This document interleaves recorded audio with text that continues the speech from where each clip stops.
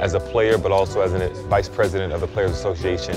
I want to leave the league in better shape than when we came into it. Just getting back to that will, that passion for the game.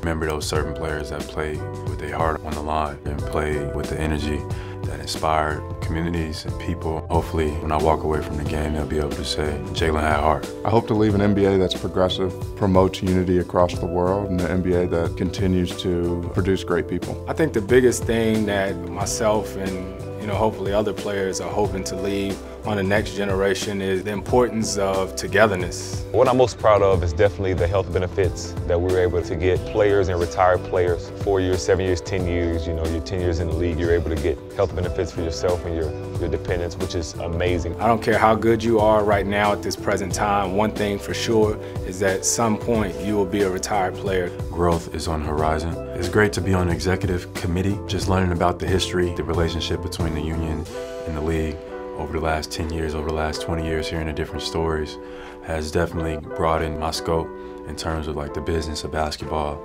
and the politics that go into it. The communication that the NBPA continues to have, it's very thorough, it's very detailed, it's very continuous. We get a lot of stuff done. We have a lot of fun doing it.